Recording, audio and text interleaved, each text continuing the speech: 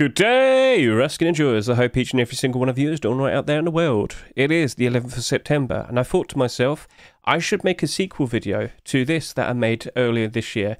Yep, back in May time, May 2023, I recorded this video talking about the uh, Thompson skins and how they tend to be reliable investments. I explained their usual routine, their pattern in which basically they do eventually reach a very low point at some point around October, but then they rebound and go up in price ever so nicely around January time, post Christmas time to be precise. So I thought to myself, you know what, back then, because we literally just had a CSGO major playing at the time, maybe I should make the effort to point out to people that maybe this is the best thing to consider investing into. Now, right now, it is September time, as I've already mentioned. We're getting very close to October, but even then, most of the Rust skins that have come out recently have been going down pretty bad. If I were to show you the likes of a Rust store that happened not too long ago, you can see how pretty much all the skins are in the negative. This is not surprising it's September. September, October, November, autumn season or fall season, depending if you're American.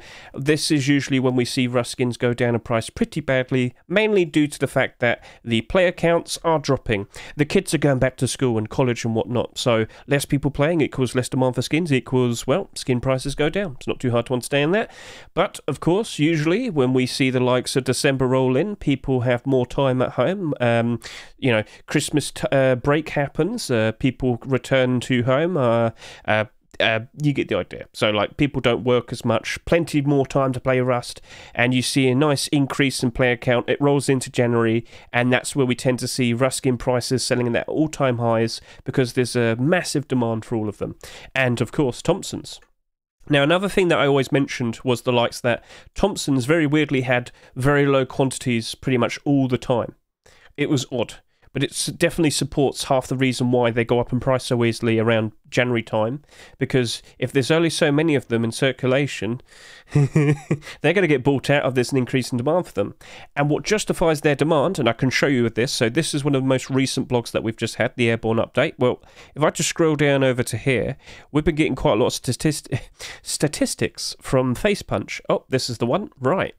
And you can see uh, the most popular weapons and the most popular guns at the moment. It goes AK, SAR, Thompson, MP5, and double barrel shotgun.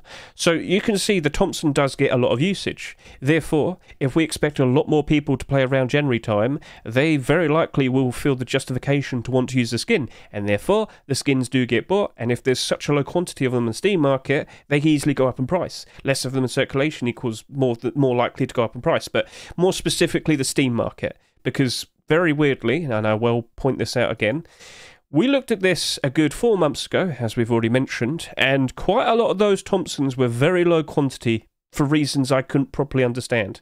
But they have increased now because people who have stopped playing Rust for the meantime looks like they've decided to just unload their stock in the Steam market. Or, you know, I'm not going to be playing Rust that much for a while. Maybe I should just put my skins in the market and then buy them back again when I return to play the game in December.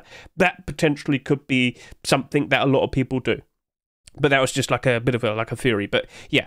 So i can see the likes of the panther thompson here the artifact thompson here high quality metal thompson. These came out this year. They only have about 50 quantity there. Now on average every ruskin by default on the steam market would have about 100 quantity. If it's less it's below average. If it's more it's above average and that's not exactly good. It's harder for a skin to sell for a good price if there's so many of them on the steam market. Whereas if there's hardly any of them on the steam market if there's an increase in demand for it, it could easily shoot back up in price. And as you can see here, the likes of this Panther Thompson, there is no resistance. There is no big fat quantities. If just about 20 people wanted these, suddenly it shoots back up to $2 plus. So yeah, potentially this could be one of the skins that magically goes all the way up to about almost $10 like some of the Thompsons last year. So I'm not saying it will. I'm just saying that's potentially something that could happen. But if we move over to here, next page, 3 Thompson, Luna Thompson, they've been getting more quantity. And as I said, there's a very decent chance people have been unloading their stock. Also, please be aware that a lot of people have been spending a lot of money. As you can see here, my main account doesn't have that much. it, it, it, a lot less than what I'd like it to be. But yeah, people are getting a little bit scared. They're worried that they're going to lose all their uh, values on their skins. They're going to lose all their money, their Steam wallet. So quite a lot of the likes of the Thompsons have been unloaded onto the Steam market, and people like me have been buying chunks of them because we still had orders down. It's not too hard to understand. Even a Thompsonana here, about 83 quantity, and then it takes until the third page where we start to see some Thompson skins having over 100 quantity. But yeah, yeah, there's a lot more quantities now, or there's a lot more higher quantities now compared to four months ago. But what's it going to look like four months later from now? Sorry, I'll re- I'll say that again. What's it going to look like, and based on all the quantities when we look at this again in four months' time, when it's January time? Do you reckon a lot of these are going to have much lower quantities and much higher prices because of that? That is the expectation. But will it happen? Because what we should also point out, if we look at this Rust again and look at all the Thompsons that come out this year, when you uh, look at the Thompsons that have been accepted this year, it's more than last year.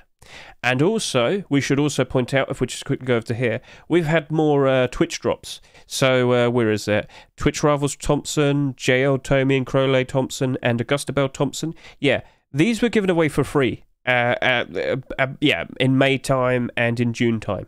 So some people probably didn't feel the need to buy any Thompsons. Yet, even then, we've got more Thompsons accepted uh, this year compared to the previous year. When you look at the likes of 2021, well, they had they had 13. anyway, anyway, anyway, the big worry is if you see too much of an item get far too many skins being accepted, you could end up like the AK-47 now, when you look at all the AKs that have come out so far this year, you might notice there's a bit of a problem. The vast majority of them are in the negative, and that shouldn't be too surprising because we have far too many AK-47 skins. there's too many options. There's too much. There's too much to uh, compare to, and that's why the vast majority of these AKs end up becoming quite cheap because people probably would rather have that AK or this AK or whatnot. And uh, yeah, plus there's also the fact of there's always another AK. Every week we tend to see another AK and another AK and another AK, and people aren't loyal to their AKs. They always ditch the old one, grab the new one, but there's always a new one. So, yeah. So we're not we're, we're nowhere anywhere bad like with the likes of the AKs, but Thompsons. If we do keep seeing more and more and more and more and more, perhaps the newer ones are going to struggle more potentially.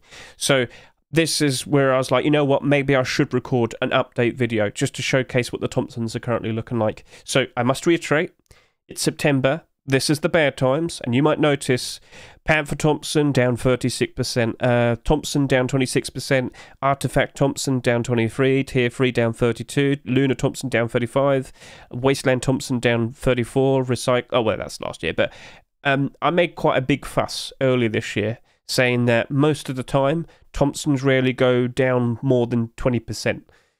Quite as you can see right now, some of them are like almost 35%. I mean, that one is, that one's negative 35%. So, yeah, some of them have dropped pretty low. But is this likely their lowest point? Yes, this is very likely the lowest point that they're going to go. And for example, that Luna Thompson, that sold for $2.49. That's listed at one six uh, one dollar sixty three. There, that's still one of the better selling Thompsons that came out this year. All right, so just because it says down thirty five percent doesn't necessarily mean it's cheap. And remember, when we see many more people play this game around January time or December, January, February, yeah, we very likely will be seeing many of them being bought out. And there's only so many of them in circulation, therefore, quite a few of them might end up getting close to about ten dollars exactly like we saw last year. So, yeah, what do you reckon? With prices reaching their lowest point, have you been counting all of your pennies? And are you trying to think of now, hmm, what could I potentially buy that might go up in price and become a very nice investment in the future? Isn't it obvious? Thompson's definitely could be one of those options. So, this video might be giving you some ideas, but again, don't buy too many of just one. Consider, you know, diversifying and whatnot. And as I said, when loads of people return to play the game, loads of people will be using Thompson in game because, of course, it's one of the most reliable weapons that we currently have in the game. There's going to be justification for one to use uh, skins on them, and therefore that potentially might fuel it to being a very good investment. So, what are you going to do? Huh? And everything that we talked about right now probably will apply to the future as well. So you might be watching this after this video was uploaded maybe one or two years ago. Hopefully, all this information still works and it still applies, but remember to put the effort in to just track um, how the Thompsons from the previous year worked out and whatnot. And yeah, so this is why I thought, you know what, it's best to kind of turn this into a bit of a series and chronicle how everything turned out. So, right now, main point is Thompsons appear to be at their lowest. Could they potentially go any lower? Well, Counter Strike 2, Source 2 is expected to release soon, and October's just around the corner, so maybe they might go even lower. But I'm still expecting a very, very nice rise in price when post Christmas hits. I've said that like four different times now. but the point still remains low quantities easily can go up in price. Pretty much every single skin. Again, here's the Artifact Thompson. This came out earlier this year. Uh, don't be shy. Show yourself. There you are. Only 50 quantity. Look at the quantities, and there's next to no resistance. That could easily become a much more expensive skin. But, you know, it's a waiting game, so we still have to wait and see what happens. So it might not look super appealing right now, but maybe, just maybe, it might become a very, very nice looking skin in the future. Depends if you really want Thompsons. Hmm. Well, it still looks like people like to use their Thompsons. Right then, so I hope that was a nice sequel video to this, but it was just kind of like a here's the current progress. But yeah, things should still work out quite nicely. In fact, you know what? I could probably talk about some of the Thompsons that did come out this year. So if I quickly go back over to here, we've had the likes of Redemption Thompson, right? So, what's so special about this Thompson, for example? Well, it's part of a well established and well liked collection, that being the Redemption Collection. And this is uh, the highest selling skin compared to all of the other weapons. And if I just quickly show you how that looks, because something came out somewhat uh, recently that might be something came out recently that might really push for people wanting to buy out full collections, and that is the gun racks.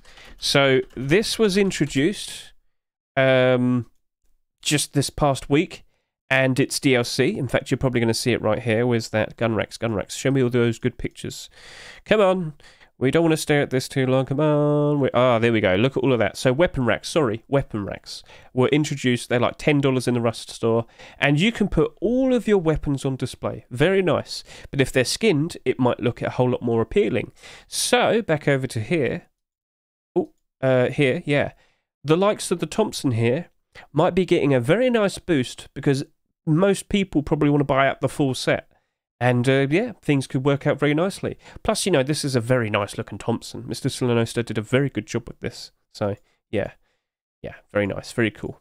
But uh, yeah, that could basically apply to any Thompson in the future if it works out very nice. I mean, I mean, Chameleon Thompson right here, that is looking to become a full fledged collection, Chameleon collection. Uh, we randomly got this uh, Thompson being accepted in Most Wanted. We recently had the AK accepted. We've just seen the MP5 getting a version 2, and that will very likely be accepted as well. And I would be surprised if the LR300 has a version 2 being uh, uploaded at some point over the course of the next 12 hours, maybe, because I am keeping check of all the newest Rust Workshop skin submissions. oh, I love a little hamster every now and then. So, yeah. Um, how might things turn out in the future? We shall see, but that's a nice little snapshot of all the Thompson skins at the moment. Maybe, just maybe, things might work out a whole lot better around mid January. So that'll be in another four months' time. And I've already pointed out, do you reckon you might want to jump in and invest into them? The choice is yours. So I've said all that I needed to say. I've mentioned post Christmas like five different times, and I just did it again. So what are you going to do? You're going to jump in? We shall see. So thank you very much for watching. I greatly appreciate it. I hope you all enjoyed yourself. And uh, I should point out, this will be in the uh, useful Rust skin investing videos playlist. So if you want to learn more about useful nuggets of information and whatnot in regards to Rust skin investing, please consider looking at my helpful Rust skin investing videos. Every single video should teach you something new. So yeah, consider giving that a good look. And with that, thank you very much for watching, and I'll see you later.